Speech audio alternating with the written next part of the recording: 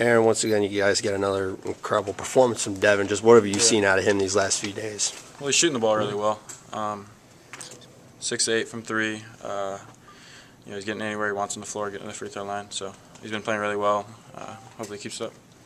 Just like what you're seeing out of Gabe. I mean, I know you guys are good friends, but to see Yeah. the comfort level that he's showed in practice. Yeah, you know that's my guy. So, um, you know, and it's always been with him. You know, the, getting comfortable on the floor, being playing relaxed because he's so talented and he's so athletic.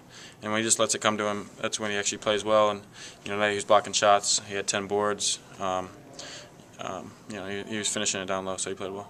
In the second half, early on, you made a three and looked over at the bench like apologetic. What was that?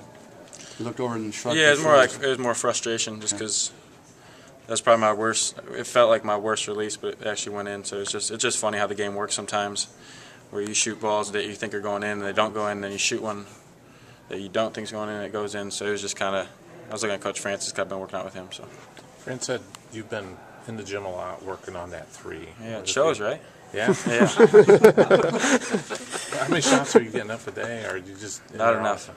I guess, because they're not going in. So, um, you guys, have, you know, already wrote about how much I get in the gym or how, whatever. You know, I like shooting, but you know, the bottom line is I got to make them in the game, so it doesn't matter how many I shoot on my own. Um, I'm going to keep at it. I'm going to keep shooting them, uh, keep shooting with confidence, and they're going to drop here eventually. Hopefully, when they count. So, How early are you coming into the gym to work on your shot? it's in the mornings. We eat breakfast at eleven or at nine, so before then.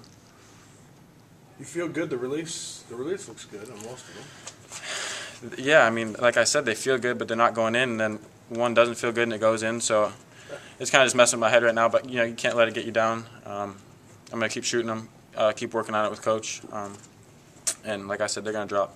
There's no doubt about that. So Is, Is there anything in particular you're working on? I mean, technique-wise? just keep my release high. Um, yeah, I don't, I don't know if it's that big of an issue to talk about it. So